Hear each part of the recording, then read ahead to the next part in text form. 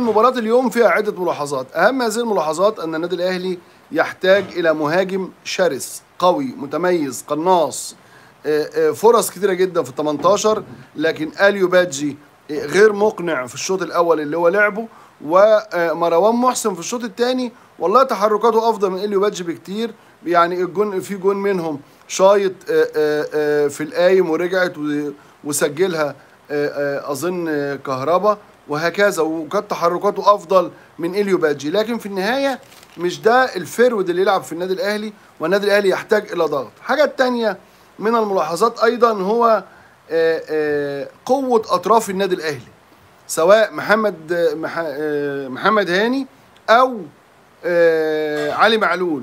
وفي الشوط الثاني احمد فتحي طبعا ومحمد شكري الجديد اللي أول مرة بنشوفه ولد واثق من نفسه واقف على كورته واضح إن هو عنده شخصية وضاغط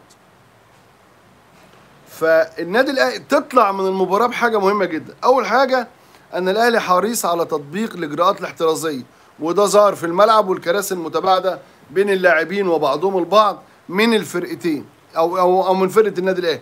يعني جهاز نادي سموحة كان قاعد جنب بعضه لكن النادي الأهلي كان سايب مسافات المتر ونص حرصا على الجميع. الملاحظه الثانية في الشكل إن استاد التتش الأرضية بتاعته محتاجة سنة كده تظبيطة وكان ممكن تبقى الفترة اللي فاتت لكن يبدو إنها لأ ما تمتش يعني. لكن أرضية النادي الأهلي مش مساعدة قوي مش مساعدة قوي أرضية التتش. الملاحظة الأهم في المباراة أن محمود عبد المنعم كهربا يرد على الع- العبيط لهبل ابو ريال المجنون المتعوس الموكوس داخل الملعب. داخل الملعب. واضح إن محمود عبد المنعم كهربا مركز بدرجة كبيرة جدا جدا جدا ودرجة عالية ودرجة متميزة متميزة. وعشان كده آه، آه، آه، عامل النهارده مباراة من أروع ما يمكن وسابه مستر فايلر على مدار ال 90 دقيقة موجود في المباراة وأدى مباراة طيبة ونجح في هز الشباك وعمل ماتش حلو قوي قوي قوي قوي متحرك. لكن واضح إن خطورته في الجبهة اليسرى. طب حد يجي يقول لي ليه فايلر النهارده ساب كهربا لمدة طوال المباراة وليه رمضان صبحي مختفي؟ رمضان صبحي مش ظاهر في الصورة. ماشي؟ وكهربا بيلعب المباراة كامله خد بالك من اللي هقوله. فايلر في صدام شديد وقعد ثلاث مرات مع كابتن محمود الخطيب خلال الأيام الماضية. كابتن الخطيب قعد معاه واعلنوا مرة واحدة فقط على موضوع الجلسة. إن عشان الحكاية والرواية. رمضان عنصر أساسي عنصر مهم. وليد سليمان عنصر مهم. آه، آه، آه، صالح جمعة عنصر ممتاز. لكنه النهارده كان بيتمرن في الجيم وبعدين قعد على الخط. آه، سعد سمير ربنا يشفيه محمد محمود ربنا يشفيه كريم نيدفيد ربنا يشفيه. فالمباراة النهارده كهربا لعب لأن الراجل عارف إنه في الدوري مش هيلعب. اتنين وده الأهم أن مستر ريني فايلر يجهز كهربا للعب في هذا المركز افريقيا. افريقيا.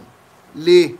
إنك أنت في مباراة الع... قال لك المباراة 25 و26 خارج مصر في المغرب الأهلي أمام الوداد والزمالك أمام الرجاء والعودة 2 و3 أكتوبر. في أكتوبر رمضان صبحي مش معاك إذا لم ينجح النادي الأهلي في الحصول على خدماته مبكرا مبكرا مبكرا. لايكات يا شباب عشان نثبت البث بعد إذنك.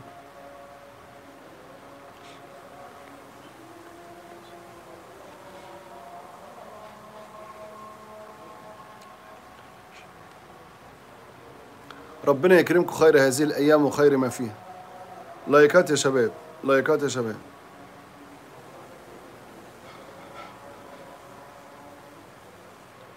معاك.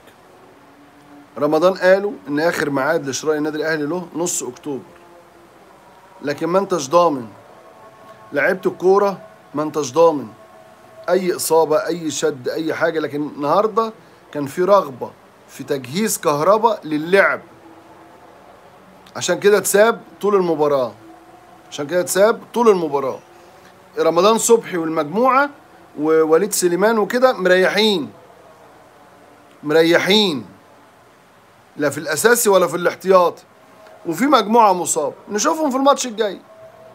لكن اللي إحنا شفناه النهارده وعجبني أنا شخصيا آه، آه، يقظة محمد الشناوي عمرو السولية فورمة إليو ديانج فورمة جيرالدو لسه ما بيعرفش يوقف الكورة محتاجينه ياخد كورس في الاستلام والتسلم كل الكرات اللي بتروح له ما تعرفش فيها إيه على ما بيسلم بيكون الدنيا وعينه يقعد يلف حوالين نفسه. وأنا ما أعرفش يعني اللي اشتروه اشتروه على إيه. إلا إذا كانوا جايبينه يخش سباق 5000 متر أو 4000 متر ده موضوع تاني.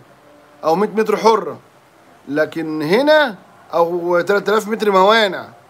مش مش مقنع بالنسبة لي. طبعا كل اللي أنا بقوله ده إحنا لسه في البداية. لكن برضو من الملاحظات النهارده إن الفريق البديل كان أول حاجة عنده تسليم وتسلم أسرع عنده ضغط على المنافس أسرع عنده رغبة في إثبات الذات أسرع. أحمد الشيخ خاسس جامد جدا وعنده تركيز النهارده في المباراة. أحمد فتحي عاوز يقول إن هي لعيب محترف وبعقليه محترفة ومكمل مع الفرقة للنهاية. ياسر إبراهيم النهارده لما نزل هو وربيعة واقفين على رجليهم ما يفرقوش ابدا عن متولي وعن أيمن أشرف اللي لعبوا مساكين في بداية المباراة. آه شوية بس السولية. وجنبيه آه العربي. آه آه كانت هنا الملاحظة طب ليه مش صالح جمعة؟ طالما صالح جمعة قاعد بره. طالما صالح جمعة قاعد بره. أحمد الشيخ النهارده خاسس جامد ومركز جامد كهربا مركز جامد. مروان عنده إصرار. مروان عنده إصرار لإثبات الذات. مين تاني عجبك يا معاطي اللي عجبني النهارده الوحيد اللي بيشوط من خارج ال 18 النهارده هو عمرو السولية ومحمد قفشة محمد مجدي قفشة. لكن ما زال محمد مجدي قفشه ما عندوش الغيره ولا الحميه. عكس عمرو السوليه عكس علي معلول.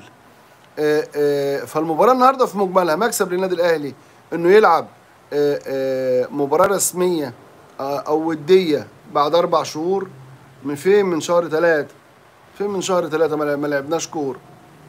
ما لعبناش كور من شهر ثلاثة فالمسألة كويس النادي الأهلي ظهر بهذا المستوى. آه، في إصرار ال ال كويس النادي الأهلي اطمن على الأساسيين والبدلاء.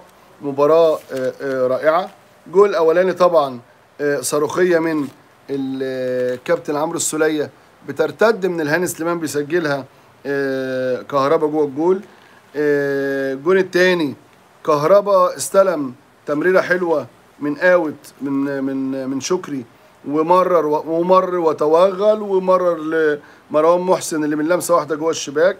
أحمد الشيخ عمل جملة جميلة بدأ من اليمين ثم جرى أحمد فتحي اللي عرض لعمرو السولية في ال 18 وبالكعب لكهربا. وجول جول جول.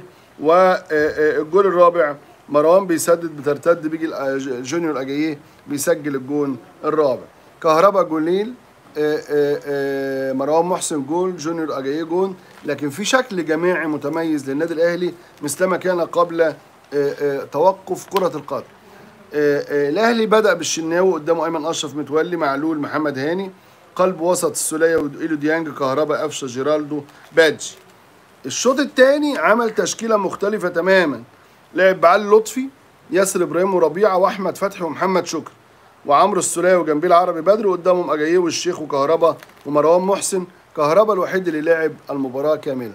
الفرقة شكلها حلو الأهلي شكله حلو سموحة أداؤه تحسن عما كان عليه أمام نادي الزمالك وقدم عرض طيب عما كان أمام الزمالك وكانت الخطوط متقاربة وكانوا بيلعبوا بشكل كويس وبينقص آه، آه، سموحة اللمسة الأخيرة على المرمى.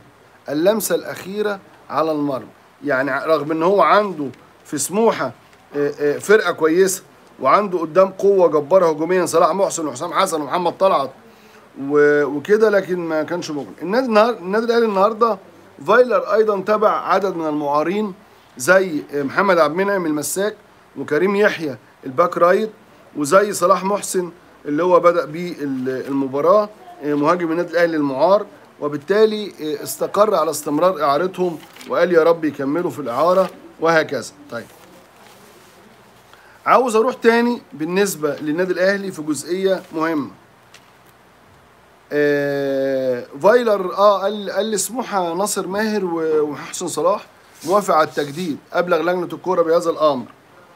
آه، بالنسبة لي آه، آه، اللهم صل على سيدنا النبي. آخر الكلام في صفقات النادي الأهلي وليد أزارو هو محور الحديث وحاول الكابتن محمود الخطيب شخصيا من خلال عدة جلسات عملها مع رينيه فايلر الحصول على موافقته على بيحاول يلين دماغه في إن وليد أزارو يرجع ويبقى ضمن تشكيلة الفريق ويلعب. ما يبقاش في موقف منه بخروجه خارج القائمه باستمرار. من حق الإدارة إنها تسجل ومن حق المدرب يلعب ولا ما يلعبش. ومن حق وليد أزارو ده اللي بيقول عليه إن أنا مش عاوز آجي ويبقى في بيني وبين الراجل صدام وأبقى أنا بره. لا آجي أدخل في منافسة مع زملائي المهاجمين والأفضل يلعب والأفضل يلعب. وده مربط الفرس. والنهارده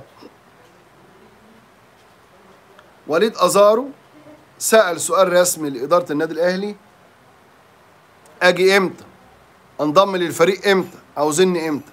لعيب يتحرك بعقلية احترافية متميزة. هو وليد أزارو رغم الإغراءات اللي بتروح له من الزمالك ومن بيراميدز. إلا إنه متمسك بالنادي الأهلي. أو متمسك بجماهيره. وعاوز يجي ومش عاوز يمشي. فسأل سؤال يعني أنتوا عايزيني معاكم إمتى وانضم إمتى؟ خاصة إن وليد أزارو غير مقيد محليا وما وما ينفعش له المشاركة. فالنادي الأهلي لسه ما ردش عليه. طيب. في أسامة جلال وفي أحمد بيكهام وفي باهر المحمد. كلام برضو تردد في اجتماع فايلر مع كابتن الخطيب. الراجل عاوز آه، آه، باهر المحمدي المسألة فيها صعوبة لكن الخطيب وعد بيه. طب ما كانش؟ قال لك يبقى أسامة جلال. لجنة الكرة عاوزة مين؟ عاوزة أحمد بكر.